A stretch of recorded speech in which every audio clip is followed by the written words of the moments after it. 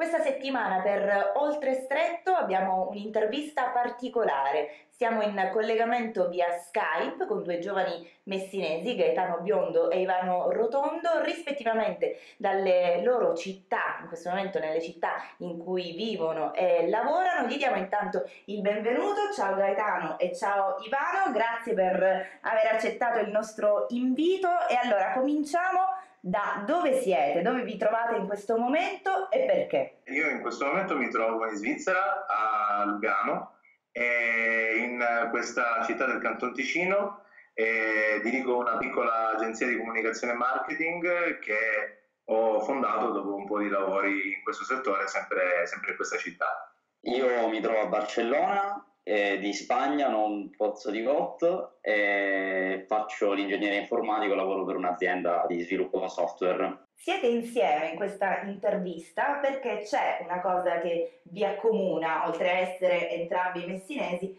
c'è un progetto che vi vede eh, complici e compagni di viaggio. Di cosa si tratta? Il progetto che ci vede insieme per la prima volta lavorativamente dopo essere stati anche compagni al liceo, a Messina, a scuola. È un eh, progetto che mette insieme le nostre competenze, le nostre capacità ed è un'app, si chiama Mamma Italia ed è un motore di ricerca per trovare i prodotti alimentari italiani all'estero. Ivano, com'è nata questa idea? Questa idea dal mio punto di vista è stata che mi telefona Gaetano e mi dice che hanno avuto questa, questa illuminazione che dovevamo creare un'app per aiutare eh, chi vive all'estero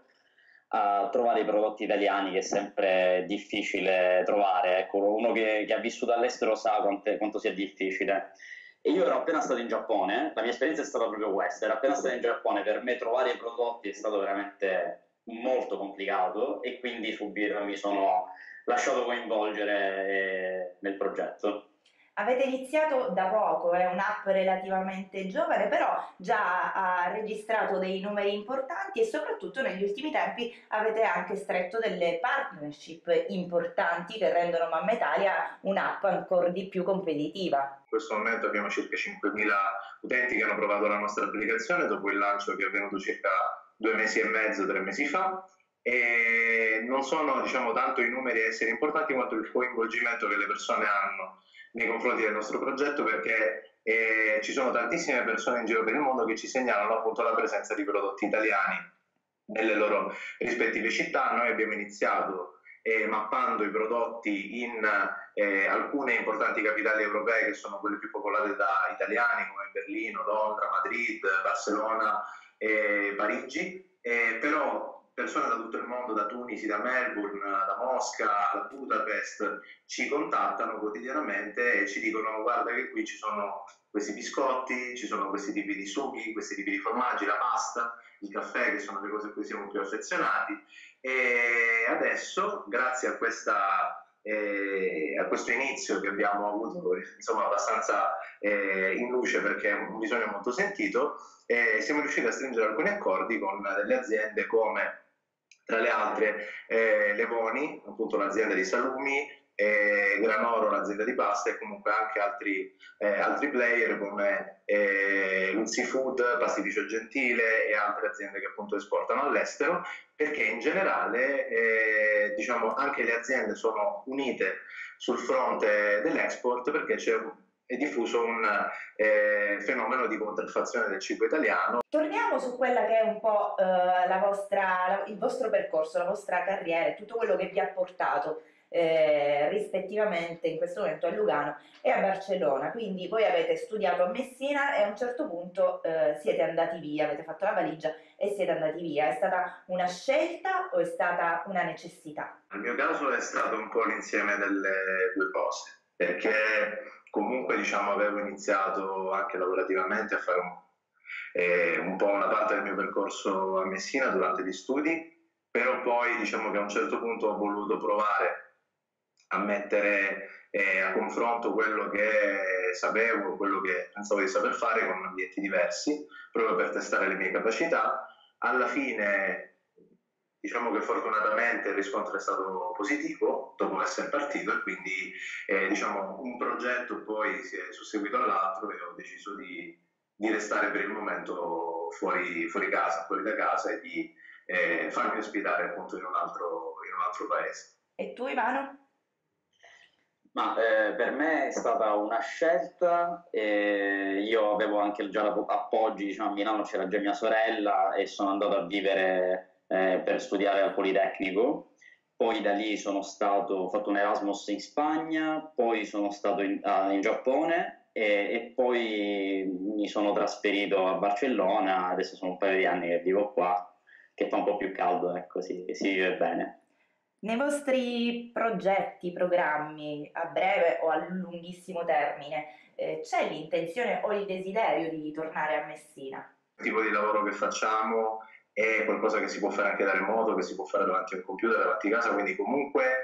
mi capita, mi capita abbastanza spesso di ogni tanto insomma, di, fare, di fare ritorno, dunque la nostalgia c'è ma è mitigata ogni tanto appunto, da, queste, eh, da, queste puntatine, da queste puntatine appunto giù. E in futuro diciamo ovviamente non lo escludo, però mi piace vivere eh, giorno per giorno, settimana per settimana perché alla fine nella nostra vita da come posso dire, ormai professionisti di oggi, giovani di oggi, e comunque può cambiare sempre tutto da un momento all'altro, quindi diciamo che ecco, è possibile, ma vedremo. Io veramente vorrei tornare a casa, eh, vorrei tornare a Messina, per me è proprio l'obiettivo della vita è proprio questo e, nessuno ci crede, rimangono tutti sconcertati. In realtà io, a parte la nostalgia per casa, non so, dopo aver girato il mondo, mi, forse mi sono reso conto che come a casa non si sta bene da nessun'altra parte, che sì, abbiamo delle, ci sono sicuramente delle cose negative, ma ci sono tantissime cose positive che uno apprezza poi quando va fuori e non ce le ha. Quindi l'obiettivo a breve, speriamo, è quello di tornare. Ecco, e se voi eh, che avete girato tanto e che avete esperienza eh, di tante città, non solo italiane ma anche all'estero, doveste dare un consiglio a questa città eh, per essere probabilmente anche più a misura di giovani, quale potrebbe essere? Cosa manca qui che voi in questo momento trovate altrove oltre al lavoro praticamente, però cosa dovrebbe secondo voi dal, dalla vostra prospettiva esserci? Io non so cosa dire esattamente alla città, io il messaggio lo vorrei dare ai giovani eh, direttamente, perché proprio come dici tu, il, è una città, cosa, cosa, possiamo fare per i giovani? Il problema è che i giovani se ne sono andati, cioè io, la mia generazione praticamente a Messina eh, non c'è, sono tutti via, almeno tantissime persone che conosco e quindi io spero che non sia l'unico che abbia intenzione di tornare, perché in realtà ci sono tantissime cose che si possono fare da noi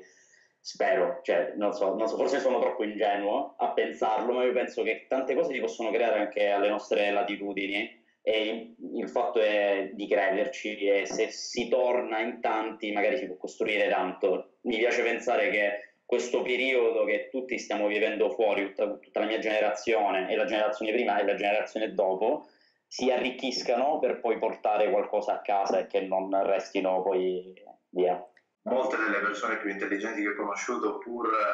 stando all'estero, comunque magari frequentando anche città che sono note come metropoli, in realtà sono comunque persone che vengono da Messina o comunque gente, gente immigrata, non per forza dalle nostre latitudini o comunque dalla Sicilia, ma in generale tutta gente che magari deve spostarsi da un contesto all'altro per riuscire a far maturare quelle che sono e a far accettare, a far, eh, come posso dire, valere quelle che sono comunque le loro competenze eh, e a mostrarle a qualcuno, mentre probabilmente